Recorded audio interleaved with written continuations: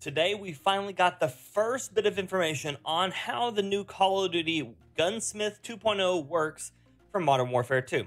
Let's look at some of the video here. So, they posted this live on the Twitter and it's on the YouTube as well. And they cover a lot of My the stuff going on. Uh, these are some of the devs.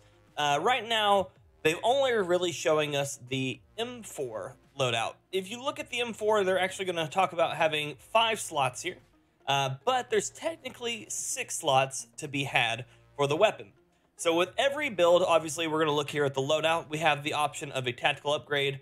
This is our perk package. It looks like by, this is the Modern Warfare uh, thing, obviously. This is not looking into uh, Warzone specifically, but this is how it looks like you're building your loadouts. Uh, you've got a pistol, you got your tactical, your lethal, you got perks, and you've got a tactical upgrade. This is going to be similar to something like a ammo box or something if you play Plunder. That is your slot for that. This right here, though, this is the part that I find interesting. You see two perks here, which looks to be the starter one. And then this looks like a perk that you probably earn, and another one you earn by probably playing in the game. Which means this is kind of like how Specialist worked in Modern Warfare 1, uh, and we'll see if it works the same way here. Uh, we see slots right here, five, and we see level one through 20, one, one of one. So these are just kind of, uh, I guess, early versions of how the gunsmith is going to look. Uh, we go into it, we're looking at the M4. Here are your slots here. We have access to muzzle, barrel, underbarrel, laser, ammunition, magazine, optic, stock, and rear grip. But there is one more attachment here, and this is apparently how the new family tree and gunsmithing pretty much works out here. This is all of your options for how you upgrade your weapons um, and how they change. So this right here, M4, this receiver determines all of this information that you have right here and the tree that it works through. So you can go through and you can go through and edit each of these individual pieces uh, for a maximum of five modifications, zero to five. Um, this shows you all of our stats here damage, fire rate, range, accuracy, recoil control, mobility, and handling.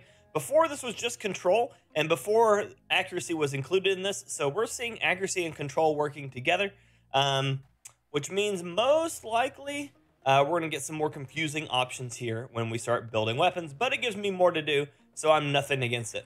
Um, if we go in here and we start looking at the first things, these are the stocks available for the M4 right now. Uh, sprint to fire, crouch movement speed, aim down sight speed, and uh, con is recoil control. And I imagine we're going to see a lot of similar things. No stock is going to be recoil control, but movement speed and up. Um, and, you know, strike stock is probably going to be ADS speed. This one's going to be a stability one. This one's going to be a stability and recoil control. This one is probably recoil control and ADS speed at the cost of probably ADS or uh, movement speed or something like that. Uh, lots of different. Oh, actually, it shows me a few of them here, doesn't it? So we see this one is uh, aiming stability, but increased walking speed and sprint speed. This one is oh, sprint speed, aim walking speed, crouch movement speed, aiming stability, and recoil control. Uh, both those together. Uh, and then, oh yeah, and then we drop over to sights. It looks like the sights are going to do the same thing as they did in Modern Warfare, which is precision picture, slows down your ADS speed, and I'm guessing they're going to go through and do similar things here. Uh, then we're going to look here. This is the first apparent build that we have here. Uh, Corvus, which is a, a, a tactical laser a sight, a rear grip, and a underbarrel. This is only four attachments running the M4 receiver. And then we're going to see them go over here. So this is your unlock tree. So what we're seeing right here is an M4 light machine gun variant. So this is the M4. This is the one we were just working on. This is a light machine gun variant. And up here is the M16 variant. So right there, the barrels that you were seeing, or yeah, the barrels that you were seeing right, let's see, uh, right here, this receiver, this right here is directly what affects those builds on the tree. So you'll be able to convert this gun into multiple different guns, like the M16 right there, uh, the unnamed right here uh, LMG, and then yeah, the M16. And you're seeing that all of these have their own unlock trees as well.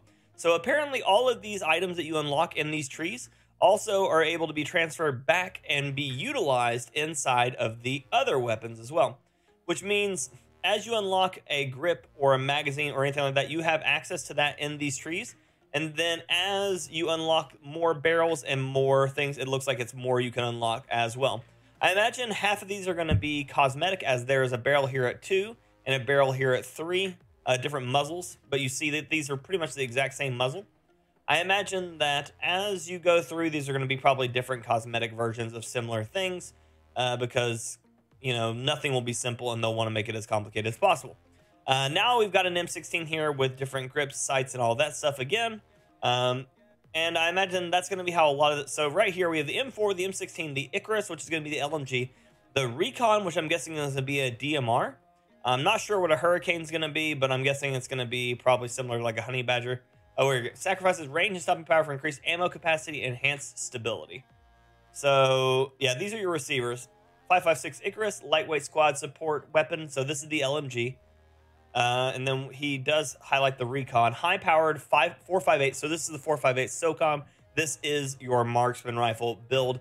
So full uh, standard build AR M4, uh, burst M16, LMG, uh, tactical rifle, and this is going to the FSS Hurricane looks to be an SMG build. So they have all of those different builds all within inside one weapon. Um, and this is how your trees are going to work, and this is how you're going to get multiple different builds in the game. Uh, we're going to see this probably similar thing for the AK platform. We'll probably see another thing for another modular platform, probably the ACR, uh, which is how we'll probably end up with stuff like the uh, Honey Badger or whatever that's going to end up being in the systems as well. So they're going through and they're showing all of those. Uh, and then we're going to get over here and it's showing the unlock trees and how it all works and transfers over. As you unlock these things, you see 1 through 22. This is going to be 1 through 22 attachments available to unlock for the FTAC Recon. Um, same thing goes for all the other weapons here on this list 1 through 19 for the M4 or anything of that sort. Uh, and then 1 through 14 for the Hurricane. Um, different uh, grips and things of that sort as well. On. And you'll be able to use them as, as they say across all the different guns here. Uh, and then this is where they go through and they show how the attachment system is now going to work for cosmetics at least for this pack. The FX, FJ Extender is available with the pre-order of the uh, Vault Edition, which means the big the big version is the expensive one. If you're not looking to spend the money on it, it probably not going to apply to you. Uh, but basically, they made it now so that every attachment inside these bundles are coming with the different colorations for every build of this gun, which means you can go through, actually change your customization of the gun, and keep it looking that specific way. On one side, I see this as extremely useful. As, a person who loves to customize his weaponry, I love having my stuff match. And so I foresee this to be a extremely useful, wonderful way of making sure when you're using a blueprint, it's not wasted as you want to go change a stock or a barrel or a, a suppressor. And now your suppressor is black, but the rest of your gun's white and you ju- it just doesn't look right. So for the, you aesthetic people like myself, I see that where this could come in and be super helpful uh, on the other side, I imagine this also means there will be no more blending of your blueprints. So you will now probably no longer be able to mix a certain barrel mod with a certain stock mod to get the appearance of the weapon that you really want to see. Um, but yeah, that is how all of these show to be working as well. And then, um, like I said, there are making sure that everything kind of works together and looks nice together again for the uh, first time in a long time. So this is a bit of our first information here for actual Gunsmith and for Modern Warfare 2. The Call of Duty next event is going to be, well, by the time you're seeing this today. And um, we're going to have some more info for you. I'll continue to cover it and try to give you my best version of insight based on what they say and what I actually expect them to do. And hopefully, we'll have a lot to share and some uh, more fun stuff. But until next time, ladies and gentlemen, everyone else, peace.